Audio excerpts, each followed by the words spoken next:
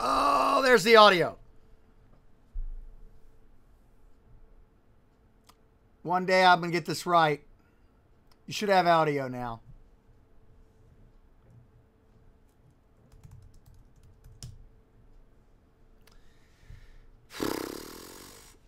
The audio should be working now.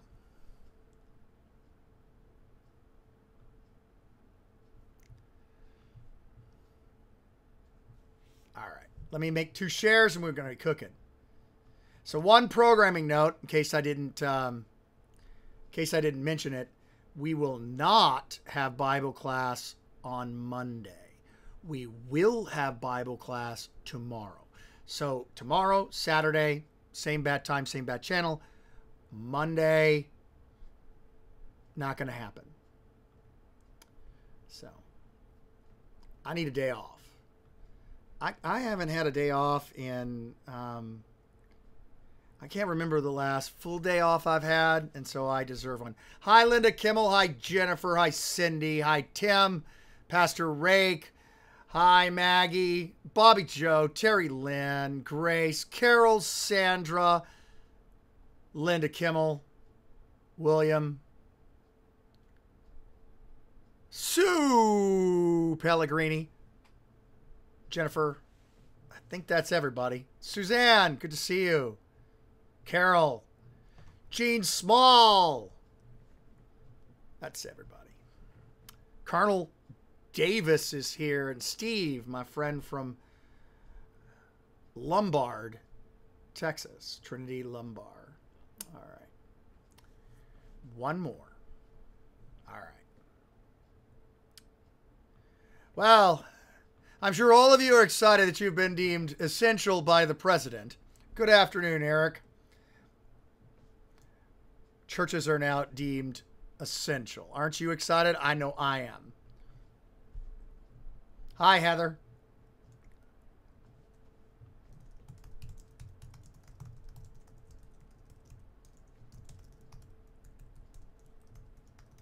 chapter 23.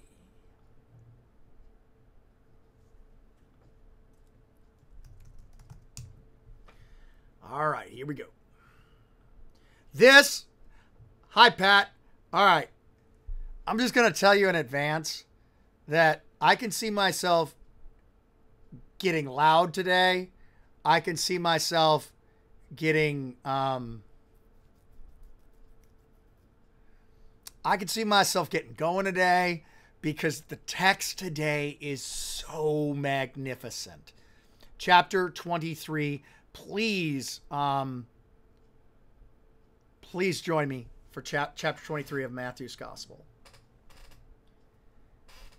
Buckle up. Oops. That was that was me looking at it. But we're right here. 23 1. So we ended yesterday with them not daring to ask any more questions. My collar's not on straight. It's been one of those days. Mama said there'd be days like this. There'd be days like this, my mama said. Um, Jesus said the uh, said to the crowds and to his disciples. Um, so I, I want I want you to sort of he just sent them out. He just he just silenced them. All right, they're not going to ask him any more questions. Hey, buddy. People want to see you, man. We did not walk today, so um uh okay. the scribes and the Pharisees sit on Moses' seat.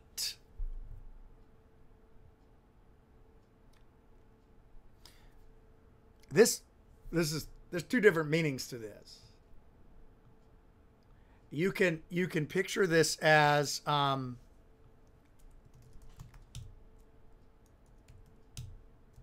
you can picture this as um, they're in his office and therefore you should respect them.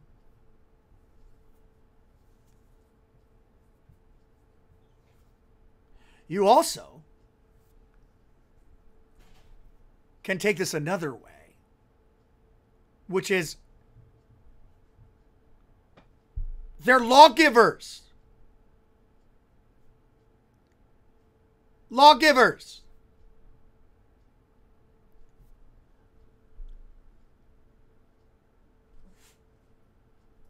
So, one, respect their office. There, they are in the, um,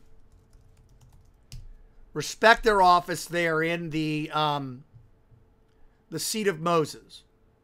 But also, Sinai and the mountain that should be lifted up and thrown into the sea is what they're peddling. They peddle all. Come over here, buddy. Enough of that. What's going on, man?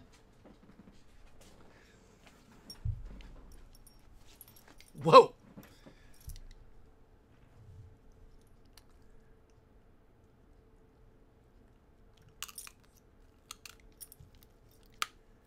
They sit on Moses' seat. So do actually do and observe isn't really helpful. Um, it's do um, it's uh, and so all that they whatever they they say treasure treasure and do so terrain tereo is that word to um, that we've had before which means guard. So again uh, the lord isn't undoing everything that went before. Um, he, he says um,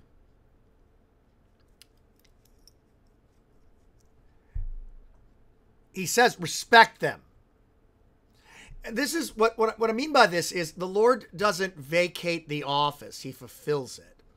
So like you got um where you where you get uh whoever possesses this treat possesses the power of thor.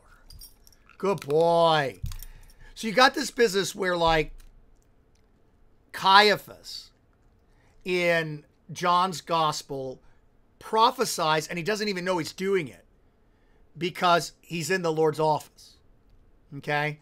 And this is something important too. You can dislike your pastor. All right? He can be um he could be a putz. He could be a guy who um who's just a mess up. Okay? Uh but you still need to listen to his words. Okay? So they sit in Moses' seat. They're lawgivers. Hey, buddy. Hi. High five. Oh, look at that high five. Um, they're lawgivers, though. And we're about to find out what's wrong with them. Oops, missed it. There's a good catch.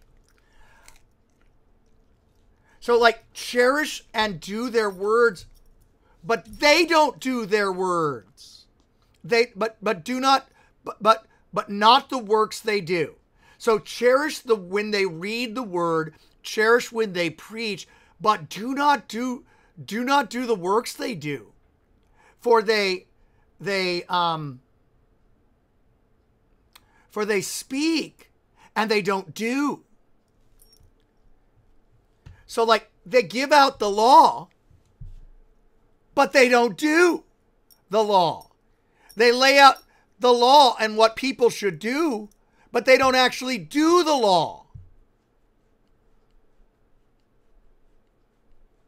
Aw, thanks, Linda. When your pastor has a cool dog like this guy right here. Look at him. He's in doggy heaven right now. Right there. That's the spot. That's the spot.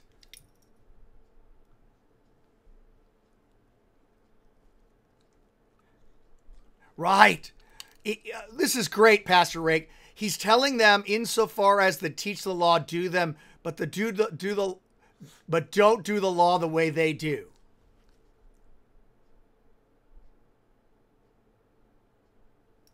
I like that. I like that a lot. Okay. Four. That's not a word I know. Des. Oh, that is they tie up. They tie up heavy burdens.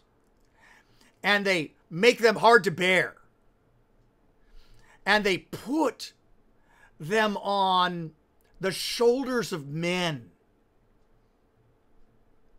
and are not willing, uh, they, they do not will to move a finger to, to help them, to do them. There you go, big boy. There you go. And now we're getting to the rub. Okay? Now we're getting to the love, rub. And and while he's talking about Pharisees, I want to, to direct your attention to preachers of today who burden your conscience with laws, who wish to change your behavior while they themselves don't do those laws. You see, they love the law, except for other people. Oh no. This is why we walked him. He's in the squeak toys. You welcome, Cindy. Hey, buddy, you want to come here? You got your squeak toy? He's smart enough not to bring it near me. So, and this is what preachers are today. Oh, they love the law. Oh, how they love the law. They love the law. They love the law. Don't you know they love the law? They love the law. You should love the law too. But do they do the law? No. And what do they do with the law? They burden people's consciences with heavy burdens, and they don't lift a finger to free them from those burdens.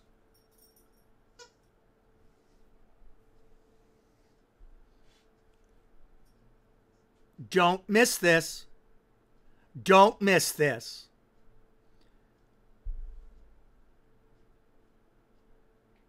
Yeah, Donald, we all love the law as it applies to others.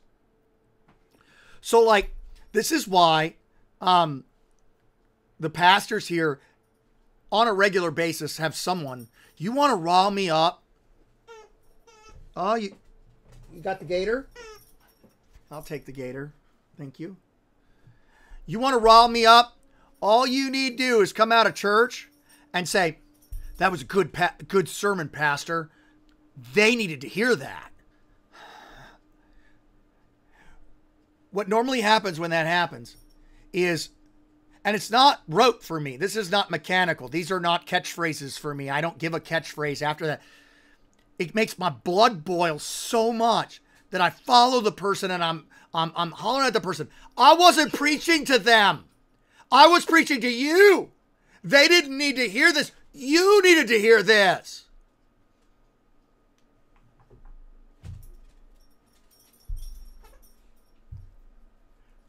And William Robinson is great on this too.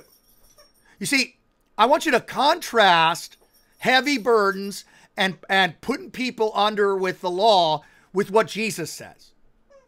Deny yourself, put away yourself, put away that religion that you know about, and take up your cross and follow me. For my yoke is easy and my burden is light. As opposed to the Pharisees, as opposed to the Pharisees who burden people down with heavy burdens. But they themselves don't lift a finger to lift them.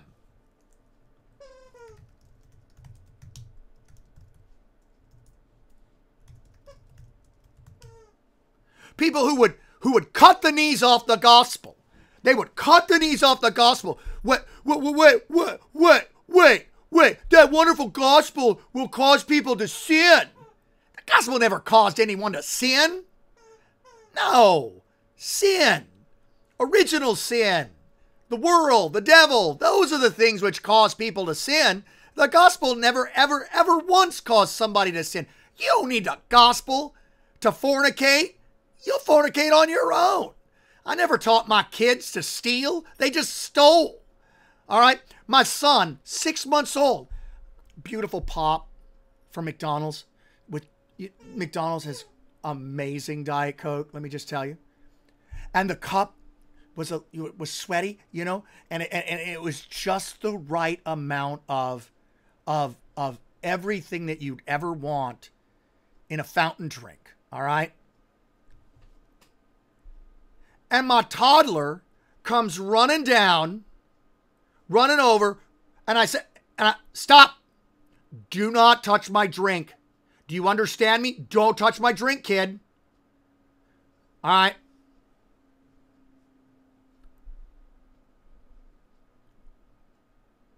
What does he do? He leaves a little bit and then he comes back and he's at full speed. And as he's at full speed, he runs by and he grabs my drink. And just...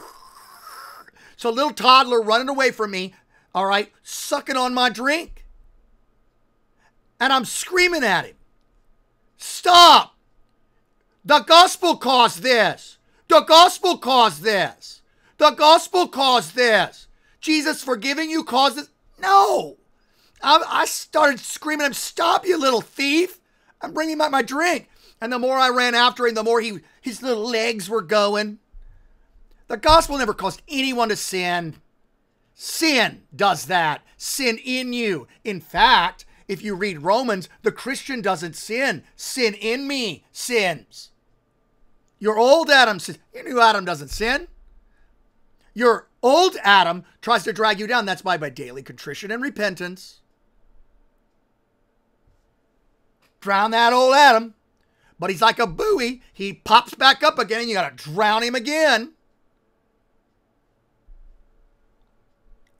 Notice the contrast between the Pharisees who love to burden people's consciences.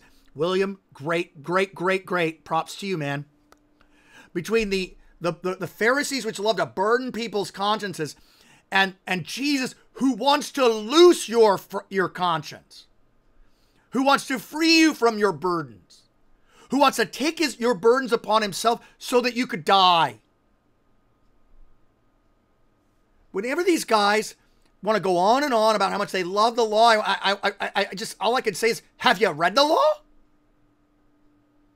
Yes, Felicity, my voice gets that high. Have you read the law? Have you actually read the law? So you know a gospel preacher.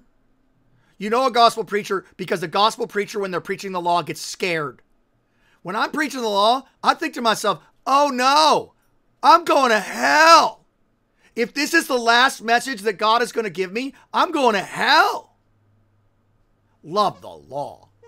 Yeah, I love the law in my new man because my new man likes to kill my old man. You hear the squeakster? See what you've done, Cindy? Next time I'm going to walk him. Erica, remind me to walk him before next time. So the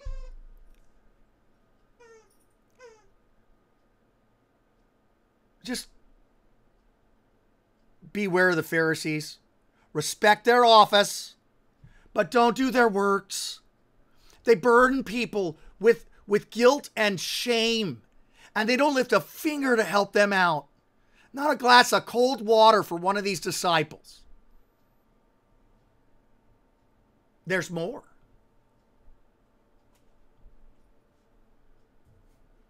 There's more. I'm not quoting that, Tim. You're, you're just going to get me in trouble. I love you, man. the new man loves the law. The, the formula of Concord says the new man doesn't need the law. If it wasn't for um, if it wasn't for our old Adam, the new man wouldn't need the law.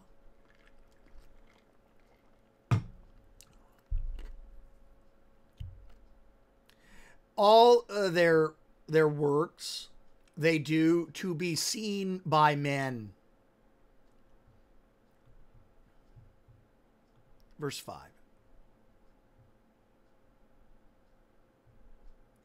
Um,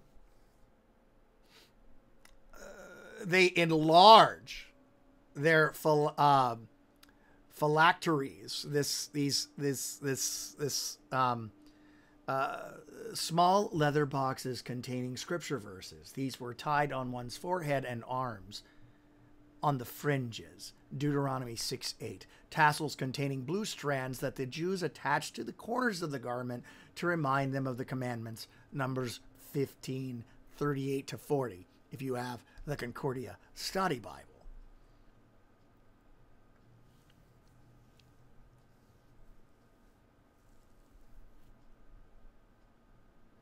they make their they, they enlarge in their um uh, these like scriptures that they wear and they and they and they make them long the broader the tassel uh, at the edge of their um on the fringes of their uh and they make their fringes long So they like to they like to wear the scriptures. As they love places of honor, proto kiss eon, it is like the first places. Proto first. So like the like the first seats and dinners. And the best seats in the synagogues. And the the greetings in the marketplace and the uh, and being called uh, uh, by men, Rabbi, Rabbi. Uh, pause for a second here.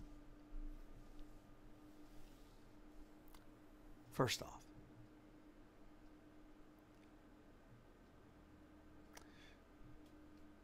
lots to repent of for both Pharisees and pastors.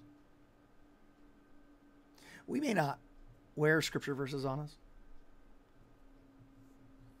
We do like the front seat. We do like the respect people gives us. Give us. We do expect to say something and somebody to do it. And there's a lot to repent of there. Because what we need to be about is the gospel. We need about be about forgiving people and unburdening people. That's what we need to be about.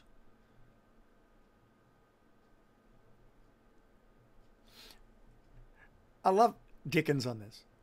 Um, uh, uh, Christmas Carol. Um, Marley. Yeah. My business should have been, mankind should have been my business. We should be about forgiving sinners. That's what we should be about. Yes, getting respect is better than getting disrespected. Newman. Excuse me, Lestico.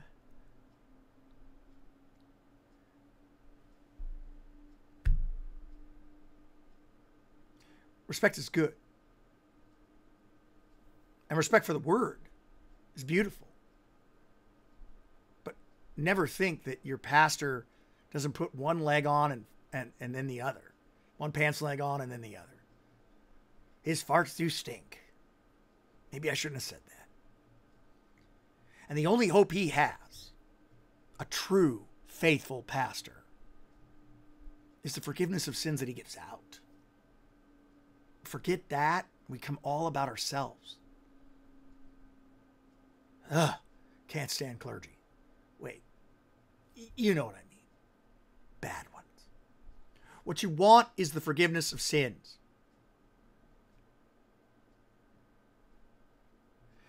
Can you lift God's Almighty off a man's conscience as it sits there with all of God's divine weight? I can't, but the Lord's words can. And that's what we should be about, Pastor Rake. Um, I can't make anyone feel better. Um, all the failures in my ministry, my ministry, um, have been where I thought I could do something. I thought that my charm and wit could bring unity to a parish. And it wasn't until I was broken that I realized I got nothing that I could to bring to the table at all. Um, we all have people who sit before us and we have nothing that we can say other than the forgiveness of sins. It reminds me of an old pastor. He's with the Lord now. Um, I actually vicared at the same place as Matthew Harrison. Um, like there was Harrison, and then there later on me, and I they and I knew I was in trouble when they're like, you know, you're a good vicar, but there was a vicar who used to play the banjo, and I was like, is that guy's name Matthew Harrison? Yes. Anyway, um, so Harrison and I could uh, imitate the former senior pastors. Um, there's sort of mannerisms and the way he would talk. Uh, uh, George, uh, uh, good to see you. Come in my office.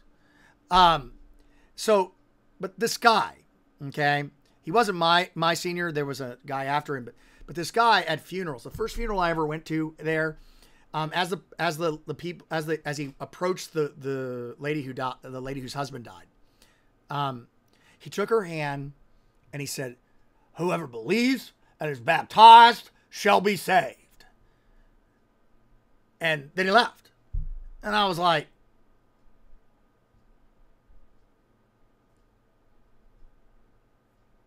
What is up? Is, is that all you got? I mean, give. I mean, is that all you got? Is that it? That's all you got?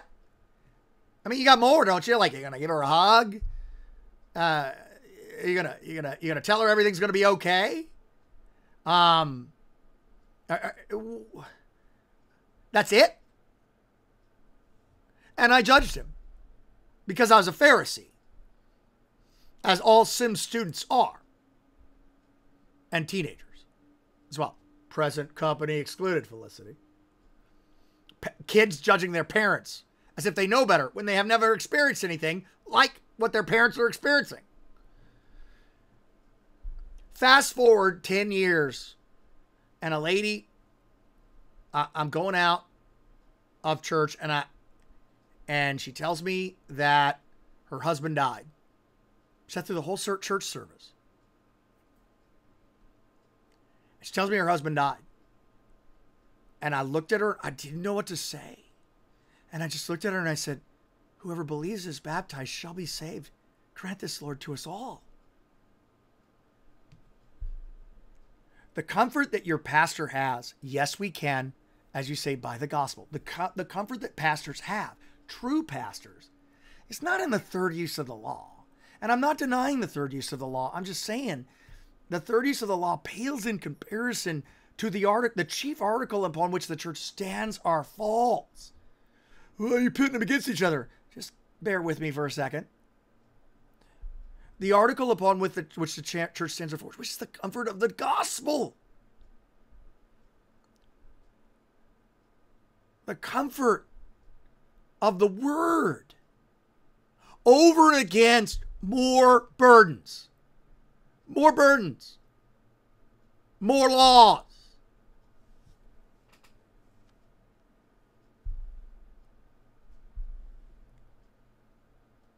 The only hope we all have is Christ, that He would take our burdens away.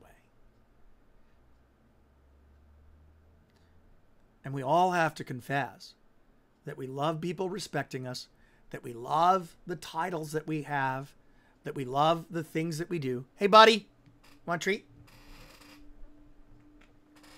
I hit him right in the head with it. Did you see it? Right off the coconut.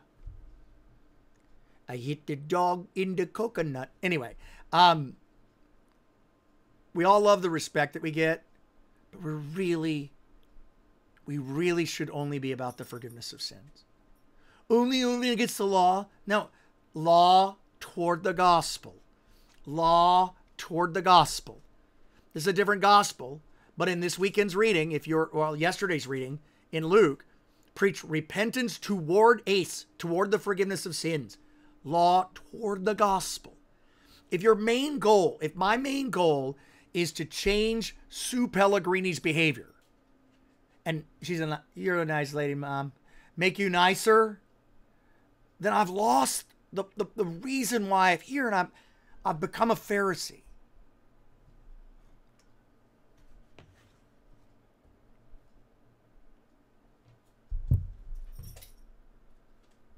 Missed it.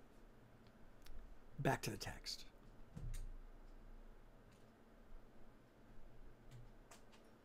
Hey, buddy, it's right here. Come over here. It's right here. Come on, come over. You want this? Right here.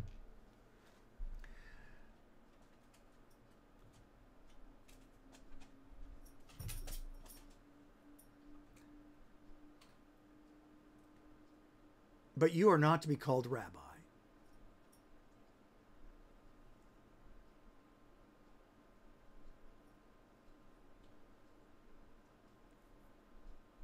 For you have one teacher. What an interesting word for this.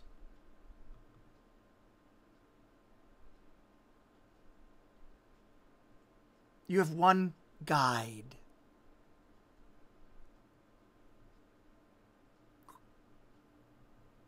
Oh, crystals.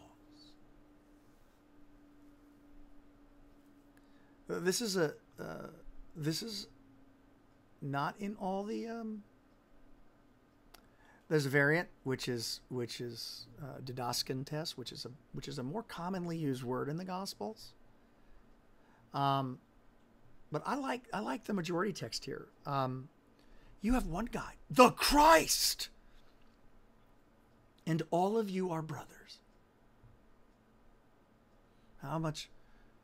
What a wonderful world this would be if we acted as brothers. and call and you and, and call no one your father on earth for you have one father who is in heaven. All right. Um does this mean that roman priests are in the wrong for being called father no does this mean some of our lutheran brothers are in the wrong who who call, who who have their parishioners call them father. What what what what this is about is respect. Um, Paul calls Onesimus his son, who he begot in chains, and wants people to be wants people to to understand um, I think it's just Corinthians. Spiritual fathers. So I don't have an issue with calling somebody, um, calling your, uh, your your pastor your father in your faith. But this is about what this is about is being wrapped up in the title. In the freedom of the gospel, you can call your pastor pastor. You can call him father. You can call him shepherd. You can call him reverend in the freedom of the gospel. Oh no. R E S P C T. Um, uh,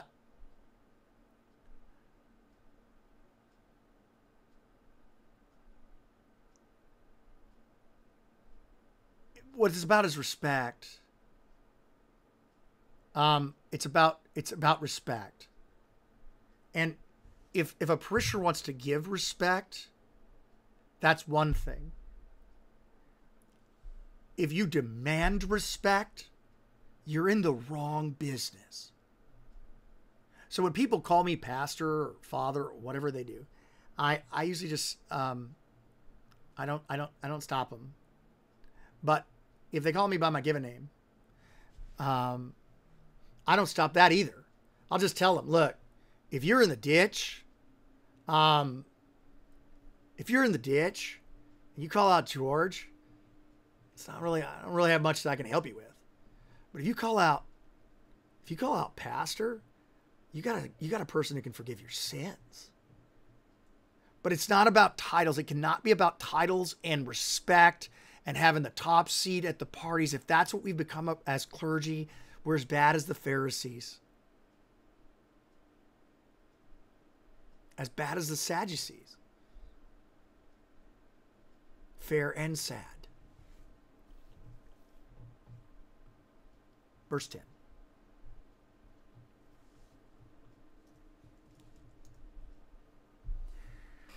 Uh, neither call them um, teacher, for you have a teacher, the Christ.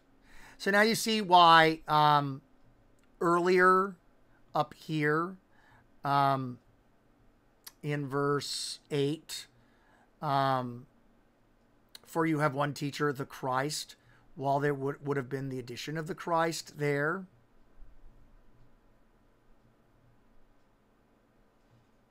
Ah, the dean is here. I prefer to be the back of the line and all potlucks because I like to get as much as I want. don't have to worry about my neighbor.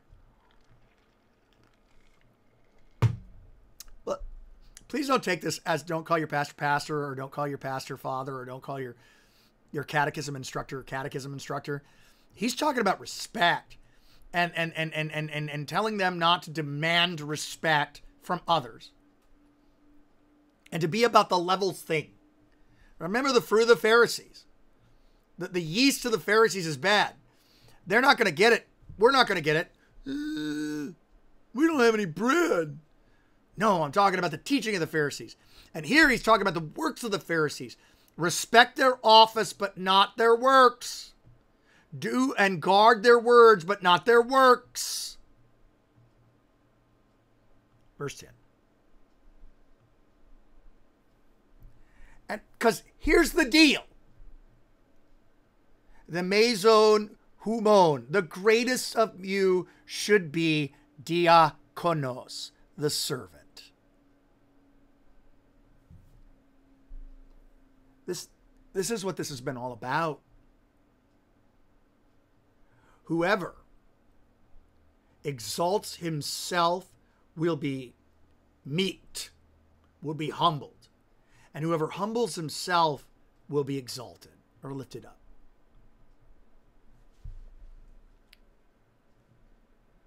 Love lift us up where we belong.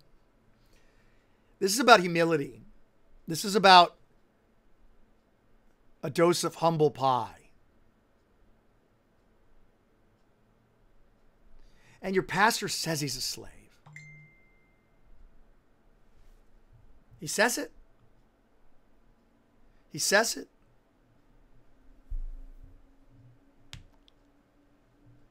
He says it. As a called and ordained servant of the word. He says it. I'm the slave for Jesus. I'm here and I got one job, and that is to forgive and retain your sins. All right? I'm not your CEO.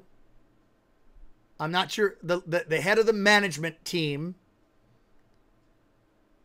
I'm not the CFO. I'm not the PDQ the FAT, the BOSS. I'm a servant, slave. Now, let that go to your head and exalt yourself. Start ordering me around. Start telling me that you're the boss of me. Start micromanaging my time. Start telling me when I when I need to do this or that or how to do my job. I'm going to look at you and say, um, remember I am a called and ordained servant of the word. I'm not your boy.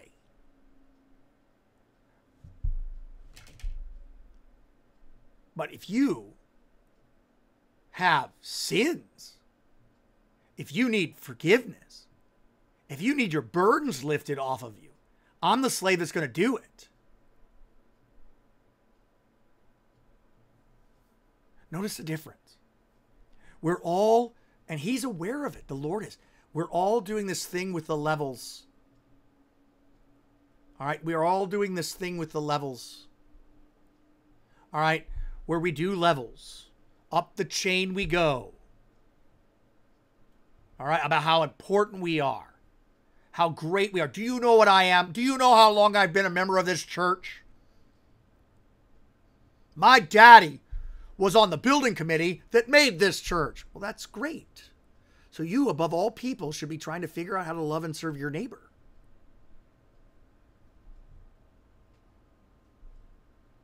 This whole section is about humility, about setting and repenting and dying to the arrogance, and letting the external word, which is able to save your soul, and cherishing it Yes, we progressed so far, Pastor Finker. We are so, so far in advance that we know how to subjugate our neighbor under them. Parents being told by kids what they can and can't do. Or kids leaving their parents to die rather than take care of them.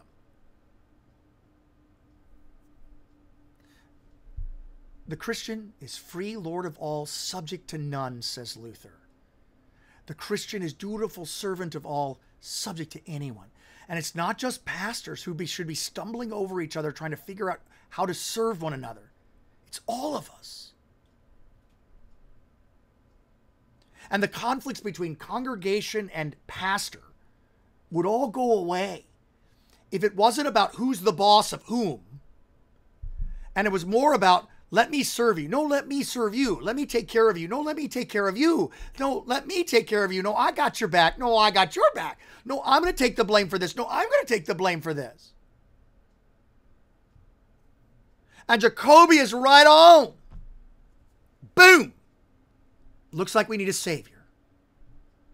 We need someone to save us from all of this, to unburden us to rescue us, to free us from the slavery of standing before God by what we haven't haven't done.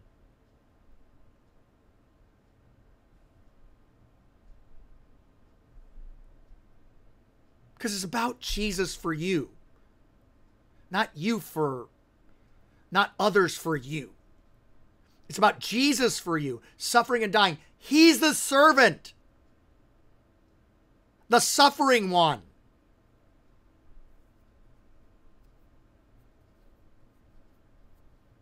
The forgiveness of sins. Yes, Pastor Lestico, I miss Erica's comments because of. I don't always see them because of the. Let the reader um, beware. Um, so I want you to to take the time to think about these things because this section calls us to repentance for making the Christian faith about doing and not doing. But it also calls us to repentance for all the arrogance that we have. We should be stumbling over each other, making other people first. Instead, we stumble over people, uh, over others, trying to make them see us about how important we are. We need to repent of all of that. That's all I got today. Wait, I got one more thing.